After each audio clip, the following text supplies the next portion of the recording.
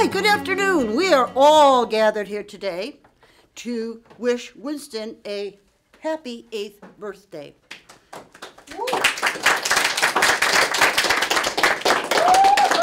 Winston, as you know, is our therapy dog. He comes to school um, quite often. He, if you're wondering why his back looks a, um, a little bit shaved, he did have back surgery, like many of us. He had a slip disc, and so he had uh, back surgery to make it all better. But we want to, you to join us and celebrate Winston's eight year eighth birthday. Thank you. Happy birthday to you. Happy birthday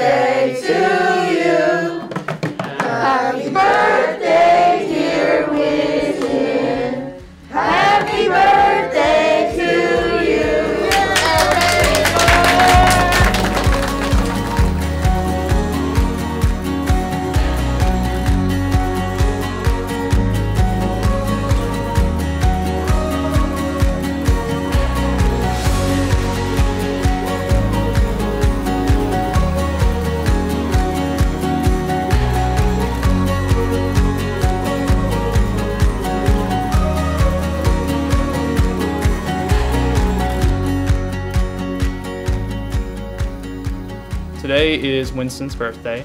Winston is our therapeutic um, emotional support animal. Recently, Winnie had a fight with cancer, and as a Glenholme community, we are extremely lucky to see him recovering and well and alive. We are extremely lucky to have him today for his eighth birthday. I like Winston because he teaches me how to be like how to take care of a dog. And same with Miss Thoreau, she teaches me. And I love dogs and he's a really good guy.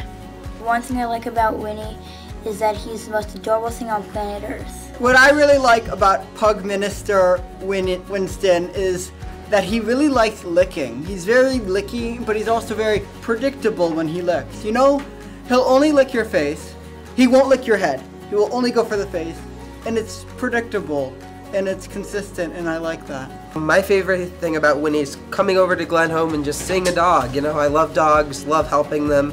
I think they're like the best creature on earth. Yeah, I love Winston because he's really cute and he's my little baby. And I like Winston because cause uh, he's just like a cool guy to chill with, and you know, Mr. Ross also a cool teacher to hang with. So I'm always uh, coming over here to hang out with him.